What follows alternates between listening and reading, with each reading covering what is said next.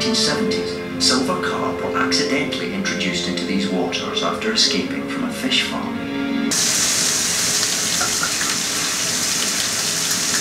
They have already caused serious injuries, and as they spread to other rivers, the danger increases by the day.